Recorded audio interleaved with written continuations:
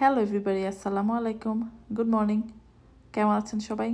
আশা করি আপনারা সবাই ভালো আছেন, নিরাপদে আছেন। তো আজকে সকাল সকাল ব্লগটা শুরু করে দিলাম। তো আজকে হচ্ছে আমার সাপ্তাহিক ছুটির দিন। তো আজকে রান্না করব। যদিও রান্না করতে ইচ্ছে হচ্ছে না, মনটা একদমই ভালো লাগছে না। বাট কি আর করা, আমরা যারা বাইরের দেশে থাকি, এটাই হচ্ছে আমাদের জীবন। মন ভালো না থাকলেও আমাদেরকে নিজেকে একটা রোবটের মতো করেই কাজগুলো করতে হয়। কারণ এখানে বসে থাকলে আমাদের কাজগুলো কেউ করে দিবে না।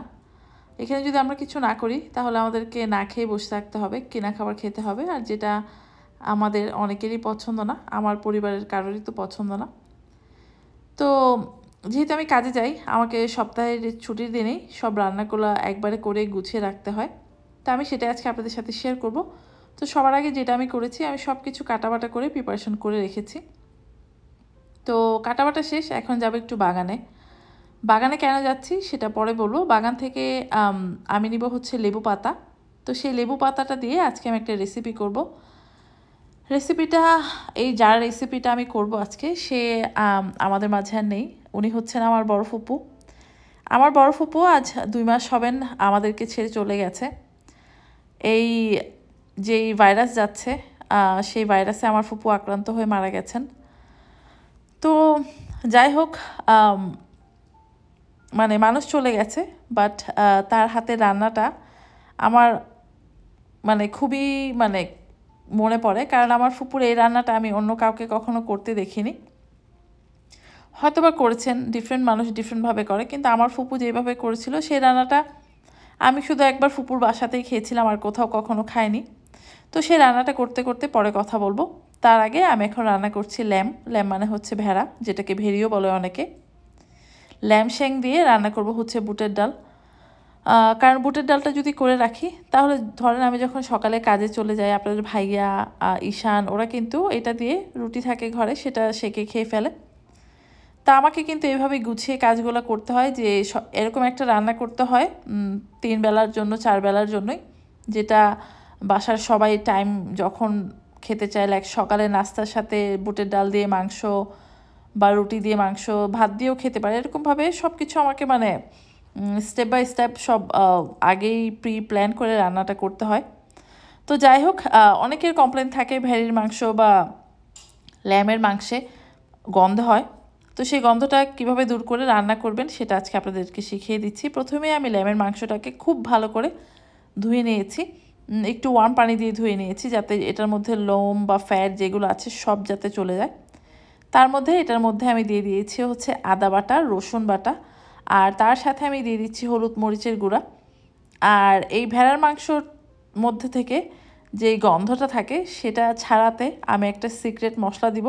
সিক্রেট না, সেই মশলাটা আমি অনেকবার ইউজ করেছি আর ওইটা নিয়ে আপনারা সবাই অনেক কোশ্চেন করেছেন। তারপরও যারা আমার মানে চ্যানেল নতুন আছেন, যারা আমার রেসিপিগুলো পুরানো রেসিপিগুলো দেখেনি তাদের জন্য আমি আবারও সেই মশলাটা শেয়ার করব। তো তার আগে কিন্তু বলে দিচ্ছি, আমি কিন্তু এখানে সব পাউডার মশলা দিয়ে দিয়েছি। আর এই যে সেই সিক্রেট এটা হচ্ছে ছোট ধনিয়া গুঁড়া। তো এখানে আমি হাফ চা চামচ ছোট ধনিয়া গুঁড়া দিয়ে দিয়েছি। আর ছোট ধনিয়া আমি কীভাবে গুঁড়া করি সেটা আমি অনেকবার আপনাদের সাথে শেয়ার করেছি। তারপরে বলে দিচ্ছি, আমি এখানে ছোট ধনিয়াটাকে হালকা একটু ভেজে তেল ছাড়া কিন্তু তেলে আমি এটাকে পাউডার করে নিয়েছি। আর তার সাথে আমি দিয়ে দিচ্ছি হচ্ছে জয়ফল গুঁড়া। জয়ফল জয়ত্রী গুঁড়া অল্প অল্প করে দিবেন, তাহলে কিন্তু এই মাংস মানে এই ল্যামের মাংস থেকে যে একটা গন্ধ থাকে সেটা একদমই চলে যাবে। আরেকটা যেটা ল্যাম বলেন বা খাসির মাংস বলেন, যখন আপনি এটাকে একদম শুকনা ভুনা করবেন, তখন কিন্তু এটার মধ্যে আর গন্ধটা থাকে না।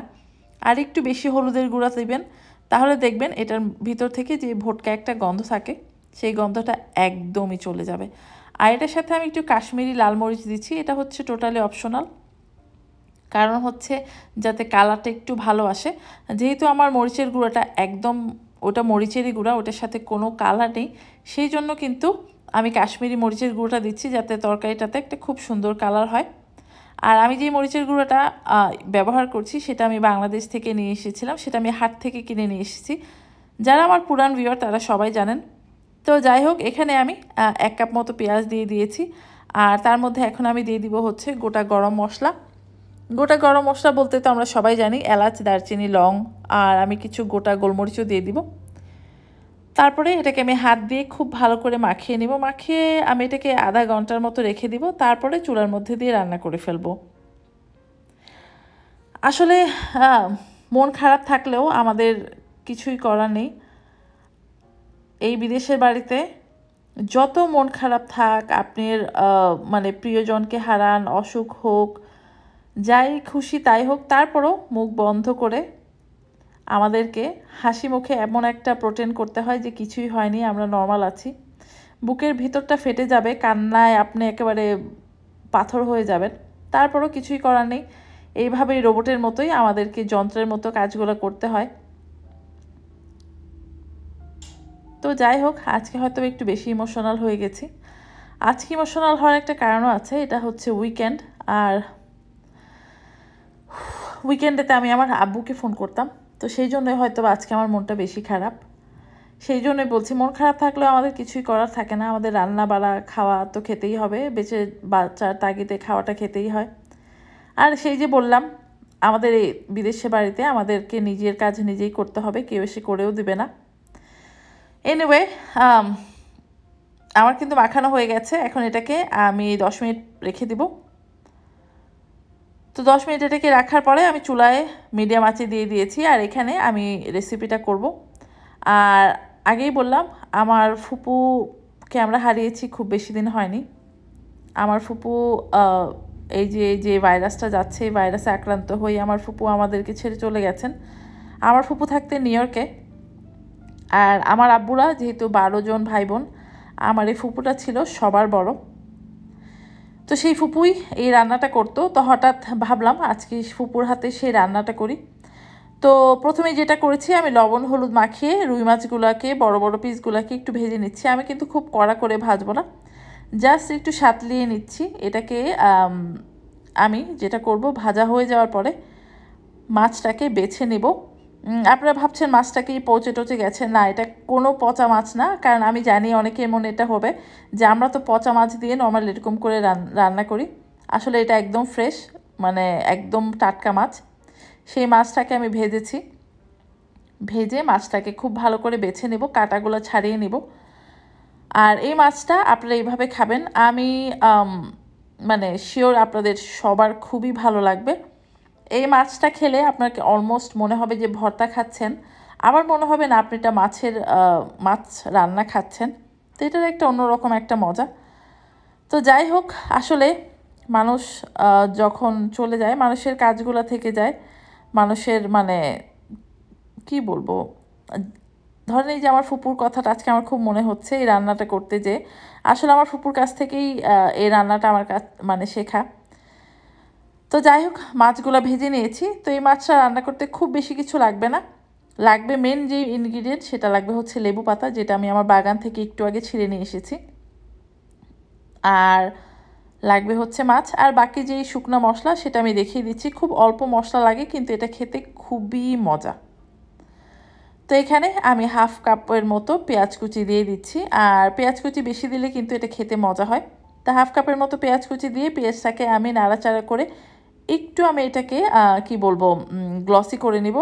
আবার এটাকে কিন্তু ভাজা টাজা করব না, একটু যাতে ভর্তা ভর্তার টেক্সচার আসে মাছটার মধ্যে। অনেকটা দো পেঁয়াজের মতো পেঁয়াজটা হবে, পেঁয়াজটা একটু গোটা গোটাই থাকবে।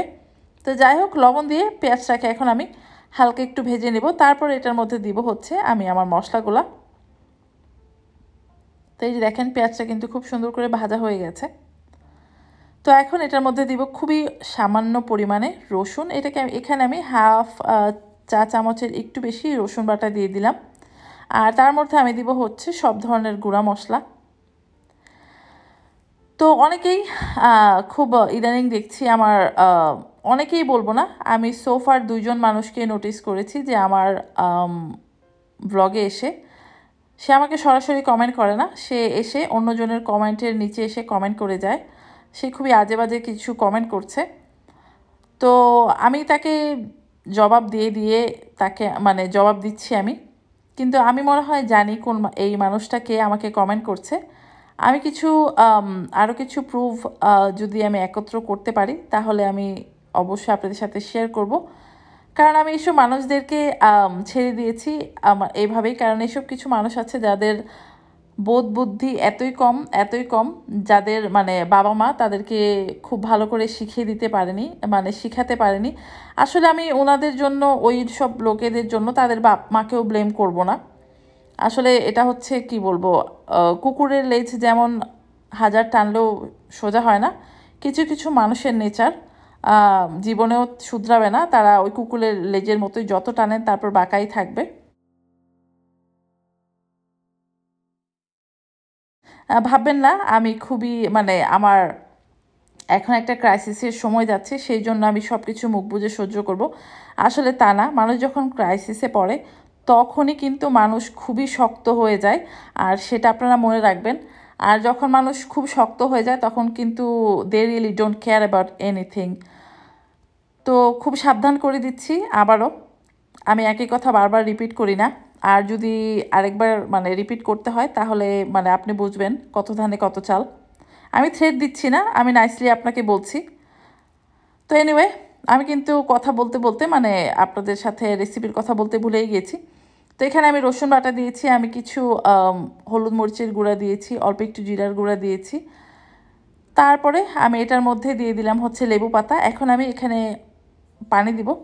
এক কাপেরও মানে এক কাপ পুরো পানি দিব না, হাফ কাপের একটু বেশি পানি দিয়ে মাছটাকে আমি খুব ভালো করে ঢেকে এটাকে রান্না করব। রান্না করব যাতে মাছটা কিছুটা ময়েস্ট হয়ে যায়, একদম শক্ত যাতে না হয়ে যায়। শক্ত হয়ে গেলে কিন্তু এই মাছটা খেতে ভালো লাগবে না। তো এটাকে ঢাকা দিয়ে রেখে দিব, এই যে দেখেন। তারপরে যেটা করব, আর ঢাকা দেওয়ার আরেকটা কারণ আছে যাতে লেবু পাতা থেকে গন্ধটা বের হয়ে পুরো মাছ মানে মাছের সাথে মিশে যায়, তাহলেই কিন্তু এই মাছটা খেতে বেশি ভালো লাগে। এই যে দেখেন, পানিটা কিন্তু একদম সুন্দর করে শুকিয়ে গেছে। তো নামানোর আগে আমি এটার উপর একটু জিরা গুঁড়া দিয়ে তারপর এটাকে নামিয়ে নেব। আর এটা গরম গরম ভাতের সাথে খেতে অনেক ভালো লাগে। তা আমি কিন্তু আজকে একটু রাগও হয়েছি বলব। আবার মানে জানি না, রাগ হয়েছি বা মন খারাপ হয়েছে, আমি কিছু কথা বলে ফেলেছি। আপনারা আমাকে ক্ষমা শূন্য দৃষ্টিতে দেখবেন। কারণ মাত্র মানে দুইজন মানুষও আমি বলব না, কারণ একজন মানুষই আছে। যে তার অ্যাকাউন্টের নাম মানে ইউটিউব অ্যাকাউন্টের যে নাম আছে, আইডি নাম আছে, সেটাকে চেঞ্জ করে করে এসে এসে কমেন্ট করে। তো অনেকেরই অনেকেরই মানে একেরও অধিক অ্যাকাউন্ট থাকে যারা যে নাম দিয়ে দিয়ে এসে বারবার কমেন্ট করে, হেও করে অনেকেই। তো ওইসব মানুষ মানে কি বলব, ওদেরকে বলেও লাভ নেই। আগেই বললাম, ওরা হচ্ছে কুকুরের লেজের মতো, টানলেও সোজা হবে না। তা আমি কিন্তু টানলে যেহেতু সোজা হবে না, সেই কুকুরের লেজটা কীভাবে কেটে ফেলতে হয় সেটা আমার জানা আছে। আপনি, আমি আপনি সাবধান করে দিচ্ছি, বারবার সাবধান করছি, কারণ পরে যখন আমি প্রমাণ শুদ্ধ আপনাকে মানুষের সামনে আপনার মুখোশ খুলে দিব, তখন কিন্তু আবার এসে কান্নাকাটি করবেন না বা কমপ্লেন করবেন না।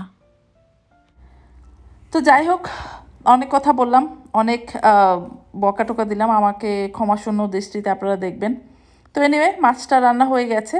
আর এখানে এই মাংসটাও ভেড়ির মাংসটাও কিন্তু সিদ্ধ হয়ে গেছে। আমি এখানে খুব ভালো করে নাড়াচাড়া দিয়ে কষিয়ে নিলাম। কষানোর পরে এখানে বুটের ডাল যে ভিজিয়ে রেখেছিলাম, সেটা দিয়ে দিলাম।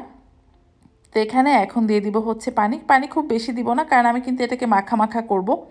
কারণ অনেকেই দেখবেন গরুর মাংস যখন ডাল দিয়ে রান্না করে একটু ঝোল ঝোল থাকে।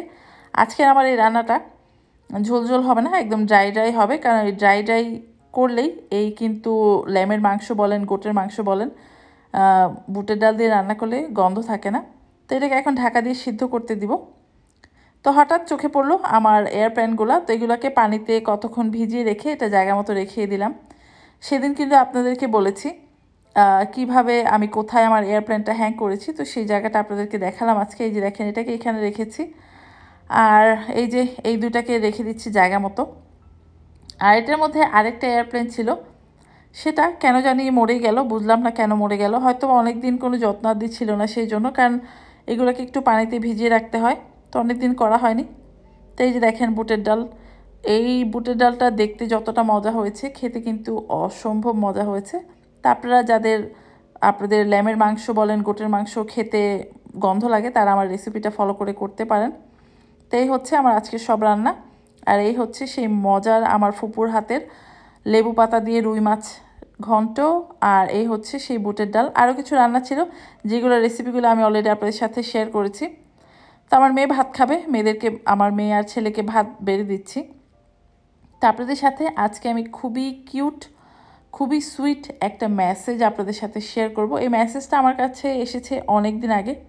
আসলে আমি আপনাদের সাথে শেয়ার করতে ভুলে গেছি তো আপনারা মেসেজটা দেখেন আর মেসেজটা দেখতে দেখতে আমি বিদায় নিয়ে নিচ্ছি তো ঠিক আছে দেখা হবে কালকে টিল দেন আল্লাহ হাফেজ Hello, dear auntie. The, how are you? We, we watch your all videos, and I'm your big I'm your big fan. The, the I love you.